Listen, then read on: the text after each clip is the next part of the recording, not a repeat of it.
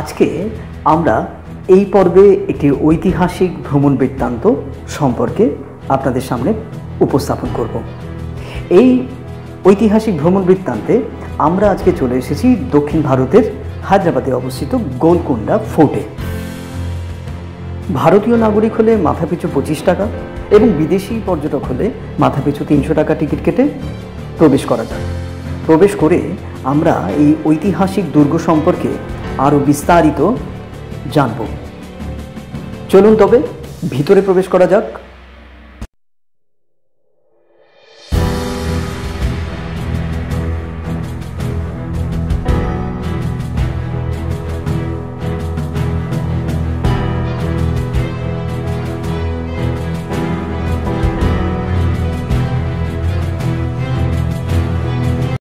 তেলেগু ভাষায় বলা হয় গোলকোন্ডা যার অর্থ মেষ পালকদের পাহাড়। ভারতের তেলেঙ্গানা রাজ্যের হায়দ্রাবাদে অবস্থিত গোলকুন্ডার শাসক হিসেবে আমরা মূলত কাকাতিয়া শাসক, বাহুমনি সুলতান কুতুবশাহী রাজবংশ, মুঘল রাজবংশ এদের কথা জানতে পারি। এখন যে বিস্তীর্ণ চত্বরটি দেখা যাচ্ছে, এখানেই প্রতিদিন সন্ধে ও রাত্রিবেলা সাতটা এবং আটটা পনেরো থেকে লাইট অ্যান্ড সাউন্ড শোয়ের ব্যবস্থা করা হয়। এই বিষয়ে আরও বিস্তারিত তথ্য পরে পরিবেশন করছি। কাকাতিয়ার শাসক গণপতি দেব, এগারোশো নিরানব্বই থেকে বারোশো বাষট্টি খ্রিস্টাব্দ যার সময়কাল, তিনি প্রথমে মাটির দুর্গ নির্মাণ করেন এখানে, যেটি ছিল মূলত কুন্ডাপল্লী ফোর্টের আদলে। সেই মাটির দুর্গটি তাদের পশ্চিমাঞ্চল রক্ষা করার জন্যই তৈরি করা হয়েছিল। পরবর্তীকালে রানী রুদ্রমা দেবী এবং তার উত্তরসূরি প্রতাপরুদ্র দুর্গটিকে আরও শক্তিশালী করেন এবং তা ক্রমশ এই গোলকুন্ডা দুর্গের আকার নেয়। দুর্গে প্রবেশ করা মাত্রই কয়েক হাজার বছরের পুরনো ঐতিহাসিক মুহূর্তে আপনি ফিরে যাবেন এবং ভারতের চিরন্তন ঐতিহ্য তথা রাজনৈতিক ও সামরিক ইতিহাসের সান্নিধ্যে আপনি ঘুরে বেড়াবেন। এই দুর্গকে কেন্দ্র করে কাকাতিয়া শাসকদের পরবর্তীকালে প্রায় দুশো বছর পর বাহুমনি শাসকরা এই দুর্গটি দখল করে নেন।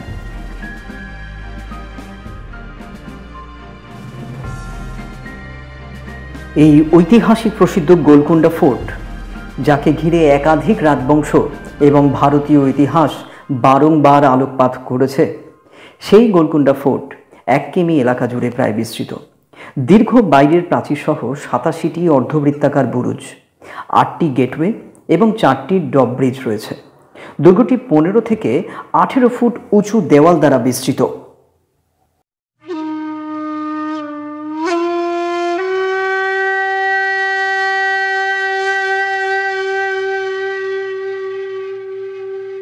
দুর্গের ধ্বংসাবশেষের নিদর্শন। আজও দর্শনার্থীদের মনে এক ঐতিহাসিক ঘটনাবলীর উদ্রেক করে। দুর্গ থেকে হায়দ্রাবাদ শহরকে পাখির চোখে দেখতে এক অন্যরকম লাগে।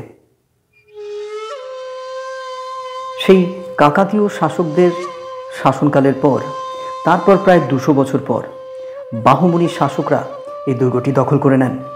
বাহুমনিদের দ্বারা প্রেরিত হয়ে কুলি কুতুব শাহ বা কুতুবুল মুল্ক গোলকুন্ডায় কুতুবশাহী সুলতানাতের প্রথম সুলতান হিসেবে রাজত্ব করেন, পনেরোশো আঠেরো থেকে পনেরোশো তেতাল্লিশ খ্রিস্টাব্দ পর্যন্ত।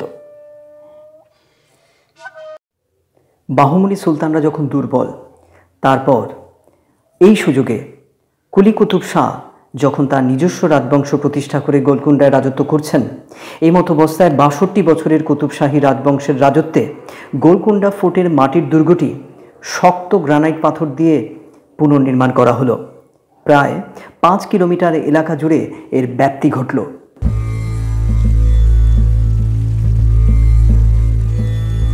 কাকাতিয়ার শাসক বাহুমনি সুলতান কুতুবশাহী রাজবংশের পর গোলকুন্ডায় পদার্পণ করল মুঘল রাজবংশ।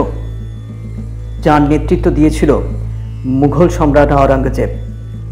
আওরঙ্গজেবের দাক্ষিণাত্য নীতির একটি গুরুত্বপূর্ণ অংশ ছিল গোলকুন্ডা আক্রমণ।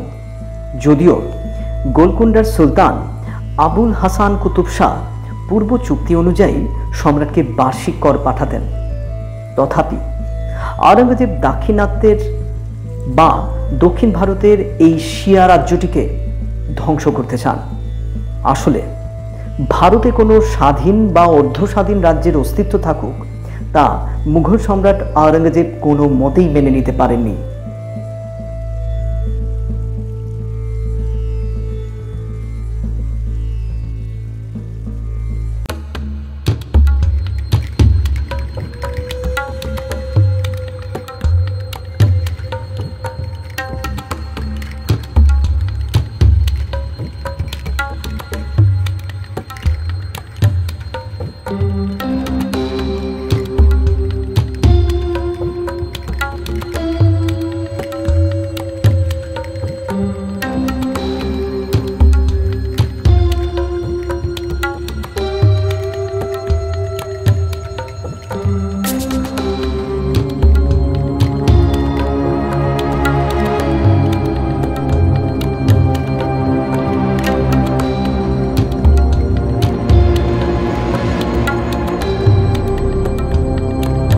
মুঘল সেনা ষোলোশো পঁচাশি খ্রিস্টাব্দ।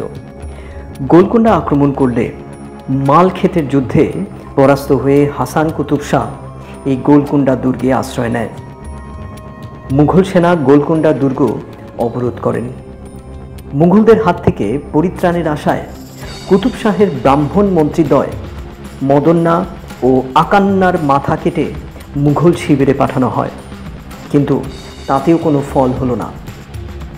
আওরঙ্গজেব আট মাস দুর্গ অবরোধ করার পর কুতুব শাহের মন্ত্রী আবদুল্লাহ পানিকে উৎকোচ দ্বারা বশ করে দুর্গের দরজা খুলিয়ে নিলেন। মুঘল বাহিনী ষোলোশো সাতাশি খ্রিস্টাব্দ গোলকুন্ডা অধিকার করল। আবুল হাসান কুতুব শাহ বন্দী হয়ে দৌলতাবাদ দুর্গে নিক্ষিপ্ত হলো এইভাবে শুরু হলো গোলকুন্ডায় মুঘলদের রাজশক্তির রাজ্য বিস্তার। এরপর হায়দ্রাবাদের রাজ্য চলে গেল নিজামদের হাতে, সতেরোশো চব্বিশ থেকে উনিশশো আটচল্লিশ খ্রিস্টাব্দ পর্যন্ত। এটি হলো রামদাসের কারাগার। রামদাস ছিলেন আব্দুল হাসান শাহের দরবারে রাজস্ব আদায়কারী। তিনি এই কারাগারে থাকাকালীন অবস্থায় এখানে হিন্দু দেবতার মূর্তি খোদাই করেন।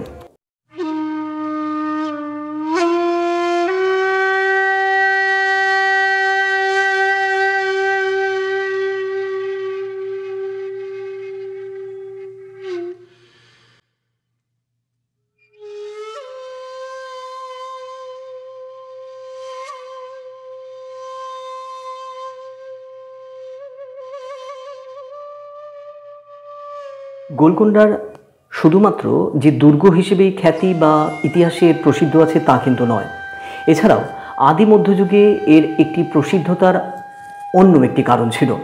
সেই কারণটি হলো সেই সময় এই গোলকুন্ডাতে হিরে বা অন্যান্য মূল্যবান রত্ন সামগ্রীর ব্যবসা চলত। গোলকুন্ডা ফোর্ট হায়দ্রাবাদের এক উজ্জ্বল জাদুকরী এবং অবশ্যই ঐতিহাসিক স্থাপত্যের একটি অসামান্য উদাহরণ। শহর থেকে প্রায় এগারো কিলোমিটার দূরে অবস্থিত হায়দ্রাবাদের বিখ্যাত পর্যটন কেন্দ্রগুলির মধ্যে অবশ্যই দর্শনীয় স্থান এটি।